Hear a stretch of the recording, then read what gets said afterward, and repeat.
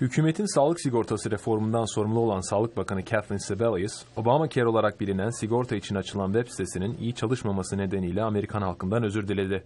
Sebelius, kongrede ifade verirken üzgün göründü. Özür dilerim. Sizler daha iyisini hak ediyorsunuz. Bu sorunun giderilmesinden ben sorumluyum. Ancak bunu web sitesi aracılığıyla sağlık sigortasına yazılmak için 3 hafta uğraşan John Chanskerley'e ya da 1 Ekim'den bu yana aynı mücadeleyi veren Robert Scolara'ya anlatmak zor. Sağlık sigortası alıp almayacağımı ya da hükümetin benim sigorta masraflarımın bir kısmını ödeyip ödemeyeceğini hala bilmiyorum. Bu eleştirilerden sonra Başkan Obama sorunların giderilmesi için her çabanın gösterileceği konusunda söz verdi. Reform kapsamında tüm sigortalar doğum, ruh sağlığı, ilaç, hastane gibi birçok temel sağlık ihtiyaçlarını kapsayacak. Ayrıca alerji, hamilelik, spor sakatlanmaları ya da sırf kadın olduğunuz için bahaneler bulup fazla ücret talep etmeyecekler. Başkan Obama, milyonlarca sigortasız Amerikalıya geniş kapsamlı ve hesaplı sağlık sigortası sahibi olacakları konusunda söz vermişti.